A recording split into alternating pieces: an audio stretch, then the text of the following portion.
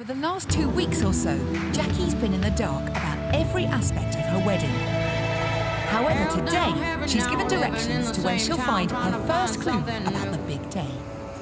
Right, there's nothing here. I said, look, see, it's all industry. There's nothing along this road. Is that the shop? Oh my God! What? Oh my God! To my beautiful Ollie! oh my God! I don't like the picture. Oh my My god. nose looks awful. Oh Have you ever seen your face that big before? no, I don't like it. Jackie may say she doesn't like being in the spotlight, but perhaps that big smile is telling a rather different